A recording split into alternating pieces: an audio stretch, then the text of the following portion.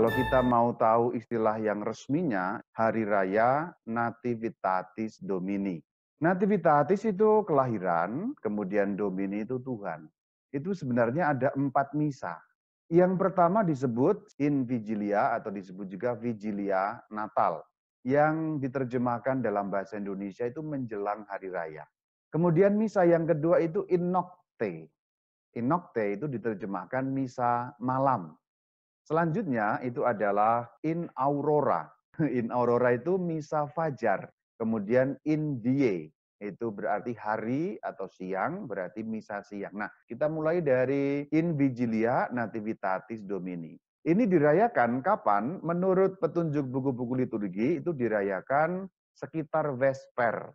Tengah enam boleh, jam lima boleh, tengah tujuh juga boleh. Jadi sebenarnya ini perayaan sore hari sebelum hari raya kelahiran Tuhan. Maka disebut menjelang hari raya. Berarti ini 24 sore. Sekarang kita masuk introitusnya. Nah introitusnya diambil dari kitab Exodus. Dalam bahasa Latin berbunyi seperti ini. Hodie sietis quia veniet dominus et salvabit nos. Et mane videbitis gloriam eus. Hari ini, hodie itu hari ini, Sietis, kamu akan tahu. Jadi baru akan, futurum ya. Sebab Tuhan akan datang. Jadi statusnya masih futurum. Veniet itu akan. Dan dikatakan salvabit. Nah, salvabit itu juga masih akan. Maka terjemahan harafiahnya berbunyi, Tuhan akan datang dan akan menyelamatkan kita. Lu kok masih akan Romo? Karena ini dirayakan baru sore, sore sebelum hari raya. Maka dikatakan akan. Dan besok pagi, videbitis itu juga masih akan, futurum, kamu akan melihat kemuliaannya. Jadi teks tadi dikutip dari keluaran 16 ayat 6 dan ayat 7. Konteksnya apa sih? Ini konteksnya. Orang Israel sudah berangkat dari Elim, kemudian dikatakan di padang gurun mereka ngomel. Kemudian Tuhan berfirman kepada Musa 16 ayat 4. Aku akan menurunkan dari langit hujan roti bagimu. Dan saudara-saudariku ini tidak kebetulan sesungguhnya bahwa Tuhan Yesus dibaringkan di palungan. Palungan itu tempat makan domba. Berarti kalau sesuatu yang diletakkan di palungan itu adalah makanan untuk domba-domba. Ini simbolik. Berarti Yesus yang dibaringkan di palungan, makanan domba. Ini simbolisme. Dombanya Kristus adalah kita. Maka ketika Kristus diletakkan di palungan, Kristus itu makanan bagi kita. Kalau belum nangkep, kita harus lompat ke Injil Yohanes. Akulah roti, Yesus Kristus adalah roti hidup. Yang diberikan untuk kita supaya kita makan. Kalau kita merayakan Ekaristi, kan kita mendengar inilah roti yang turun dari surga, berbahagialah kita yang diundang perjamuan Tuhan dan sebagai roti Yesus Kristus turun dari langit. Maka introitusnya diambil dari sini karena kelahiran Sang Kristus berarti turun dari langit. Ini bahasa simbolisme ya. Yesus turun dari langit karena beliau adalah Sang Firman yang kekal yang bersama dengan Allah mengambil keadaan hamba berarti yang dari langit turun ke bumi. Untuk siapa? Untuk umat. Maka introitnya nyambung sekali aku akan menurunkan dari langit roti bagi umat. Selanjutnya ini Injil yang dikutip untuk Misa in Vigilia. Dari Matius 1 ayat 1 sampai 25. Bicara mengenai silsilah. Juga tidak kebetulan saudara-saudari, tempat lahirnya Kristus di Palungan, kota tempat kelahiran beliau adalah Bethlehem. Kalau diuraikan di dalam bahasa Ibrani artinya rumah roti. Lalu sebenarnya nubuat terpenuhi. Rotinya siapa? Ya Yesus Kristus itulah roti yang turun dari surga. Yang kedua, sekarang misa in nativitate domini in nocte. Sebenarnya kalau aslinya dirayakan sekitar tengah malam. Berarti jam 11 malam, jam 12 malam, ini disebut misa prima. Misa prima, prima artinya pertama. Jadi misa pertama. Kenapa kok disebut misa pertama? Karena misa pertama dari hari raya Natal. Introitusnya adalah dari kitab Mazmur. Bunyinya dalam bahasa Latin, Dominus dixit ad me. Filius meus estu ego hodie genuite. Nah, kalau harafiahnya, Tuhan berkata kepadaku, ya bersabda, ya bersabda berkata, diksit itu berkata, atme kepadaku, Filius meus, anakku, es adalah engkau, ya engkau anakku. Ego, aku, hodie, hari ini, jenui, ya, melahirkan, te engkau. Jadi aku melahirkan kamu. Dikatakan Filius meus, karena ini sebutan untuk sang firman. Dikatakan genuite melahirkan karena firman itu lahir dari Bapa. Lahir ini istilah ya bukan berarti bukan berarti lahir procot itu betul-betul dalam arti itu ya. Dari Bapa lahir berarti keluar dari Bapa. Seperti omongan saya atau firman saya keluar dari saya, demikian juga sang putra keluar dari Bapa. Karena sang putra adalah firman Allah yang kekal. Nah, ini yang dimaksud melahirkan engkau itu konteksnya seperti itu. Itu introitusnya. Sekarang kita lompat ke bagian Injilnya ya. Injilnya saudara-saudari itu dikutip dari Injil Lukas. Lukas bab 2. Ini semua orang mendengar. Karena biasanya kalau malam Natal yang dibacakan ini. Mau malam Natal jam 6 sore, bacaannya ini. Meskipun kalau Natal jam 6 sore, harusnya vigilia ya. Ini baru boleh dibacakan tengah malam harusnya. Seharusnya. Saya tidak menyalahkan yang praktek terjadi, tidak tidak ada yang salah tentu saja, karena itu alasan pastoral. Nah ini dikatakan Kaisar Agustus. Kembali ke tadi, Mazmur, ingat Mazmur 2 ayat 2, raja-raja dunia. Jadi kenapa kok dikutip introitusnya Mazmur? Karena nanti bacaan Injilnya menampilkan raja dunia juga. Kaisar Agustus itu raja dunia mengeluarkan suatu perintah dan seterusnya sehingga membuat Yusuf harus pergi ke kota Bethlehem. Ikon-ikon Natal yang terkenal biasanya dikutip dari Injil Lukas ini ya. Ada gembala, ada malaikat, eh, apa ada Gloria in excelsis Deo itu nah, dibaling, dibaringkan di palungan. Ini nyambung ke tadi misa in vigilia ya. Dipenuhi di sini dalam Lukas 2 ayat 7.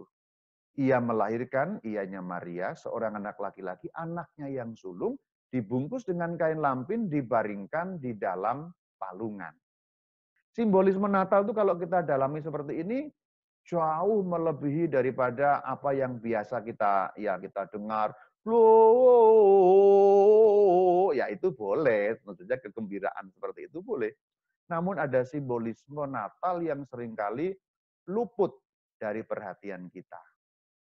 Kemudian masih teks yang tadi, malaikat itu mengatakan jangan takut, karena hari ini ada juru selamat yang lahir.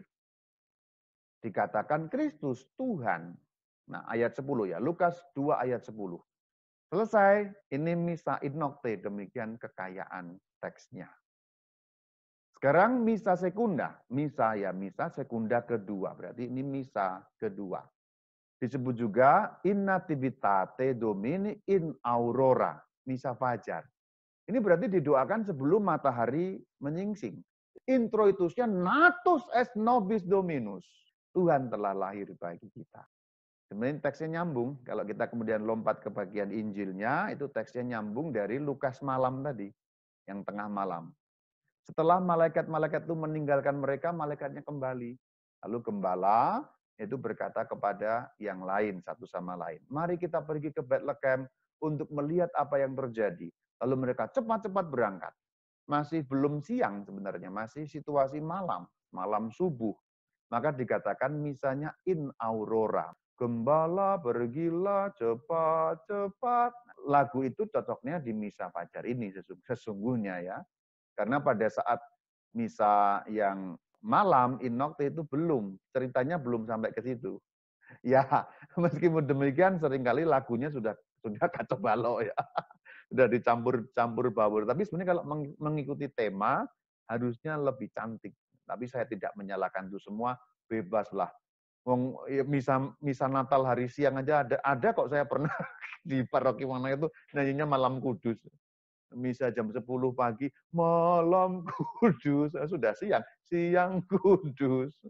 Nah, itu bukan soal, itu silakan saja, tidak ada persoalan. Ini misa in aurora. Indie nativitatis domini. India ya hari, hari kelahiran Tuhan. Misa tersia. Introitusnya, puer natus es nobis. Ini bagian pentingnya. Filius datus es nobis. Puer, itu anak laki-laki, anak ya, natus dilahirkan es nobis untuk kita. Lalu filius datus diberikan, datus diberikan nobis untuk kita. Ini bagian pentingnya di sini. Jadi sebenarnya yang digambarkan dari awal tadi, sang roti tadi, di palungan tadi bukan untuk siapa-siapa. Untuk kita. Karena kita adalah domba-dombanya. Nah ini simbolisme seperti itu. Kalau dikatakan filius itu berarti maknanya apa? Putra Allah. Yang berarti putra, putra, putra Allah. Putra Allah itu siapa? Sang Firman. Sang Firman itu disebut putra. Nanti kalau yang masih bingung, klik YouTube-nya Katkit, buka yang bagian Allah Tritunggal. Jadi kenapa kita berdoa dalam nama Bapa dan Putra dan Roh Kudus? Itu maksudnya Bapa itu menyebut Allah, Putra itu menyebut firman Allah. Lalu Roh Kudus menyebut rohnya Allah. Jadi sebenarnya Bapa dan Putra dan Roh Kudus dalam nama Allah dan firmannya dan rohnya. Maka ketika disebut Filius di sini maksudnya sang firman yang menjadi manusia. Itulah kenapa bacaan Injilnya Natal yang siang ini. Pada mulanya adalah firman. Jadi nyambung semuanya ini. Karena Filius tadi mengacu pada firman yang dimaksudkan. Pada mulanya adalah firman. Firman itu bersama-sama dengan Allah dan firman itu adalah Allah. Ia pada mulanya bersama-sama dengan Allah. Karena sebagai firman, Yesus Kristus yang belum berwujud manusia bersama dengan Allah. Karena beliau adalah firman Allah. Bahkan beliau pencipta. Karena Allah menciptakan dengan firman. Berarti yang menciptakan dunia ini siapa? Yesus Kristus. Yang belum berwujud manusia. Kalau masih bingung nanti dibuka di bagian Allah Tritunggal. Maka dinyatakan dalam Yohanes 1 ayat 3, segala sesuatu dijadikan oleh dia. Oleh dia itu maksudnya siapa? Firman tadi. Yesus Kristus yang kekal keadaannya. Atau dalam bahasa teologi, Yesus pre-existence yang belum atau bahasa gampangnya Yesus Kristus belum berwujud manusia. Ya berarti belum Yesus Romo. Ya sudah, sebagai pribadi sudah. Pribadi putra Allah. Tapi belum berwujud manusia dan belum bernama Yesus. Itu betul kalau itu. Tapi diri pribadinya sudah ada. Yesus sebagai firman itu ada secara kekal. Tidak ada keadaan atau tidak ada waktu di mana beliau belum ada. Tidak ada. Itu kan yang disangkal oleh Arius. Arius mengatakan ada waktu di mana firman tidak ada. Itu Arius. Tapi gereja Katolik mengatakan firman itu kekal. Tidak ada waktu di mana firman tidak ada. Bukan berarti dulu nggak ada, sekarang ada. Tidak. Firman itu kekal karena bersama-sama dengan Allah. Pada mulanya adalah firman, firman itu bersama-sama dengan Allah, firman itu adalah Allah. Kemudian kita baca di dalam ayat 14, langsung ke bagian bawah, firman itu telah menjadi manusia. Nah inilah Natal. Jadi hari raya Natal kita diperkaya sesungguhnya. Matius ada di bagian awal dari silsilahnya. Lukas malam lalu fajar gembala mencari. Lalu siangnya adalah Natalnya versi Yohanes. Markus kok nggak ada Romo? Karena Markus nggak punya Natal. Maksudnya nggak punya cerita Natal. Yohanes punya, tapi terselip dalam satu ayat ini saja. Yohanes 1 ayat 14 itu merangkum, meringkas cerita Matius, cerita Lukas dalam satu ayat.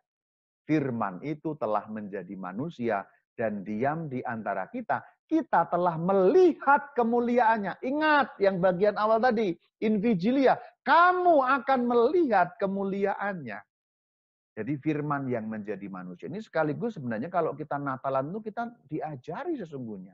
Diajari siapa sesungguhnya Yesus Kristus itu. Maka jangan bingung lagi siapa Yesus. Kalau kita mengikuti ini semua perayaan Natal, kita sudah harusnya nggak bingung lagi dengan siapa itu Yesus. Siapa Yesus? Firman yang menjadi manusia. Firman disebut apa? Putra. Jadi kalau menyebut putra, putra Allah, sang putra, itu firman. Siapa itu Yesus? Firman yang menjadi manusia. Jelas. Jadi perayaan Natal itu sesungguhnya merayakan apa sih? Bukan sekedar ulang tahun Tuhan Yesus. Apa itu mah? Happy birthday. Itu apa? Bukan. Ya itu bolehlah. Untuk anak-anak bolehlah. Tapi Natal sesungguhnya Yohanes 1 ayat 14.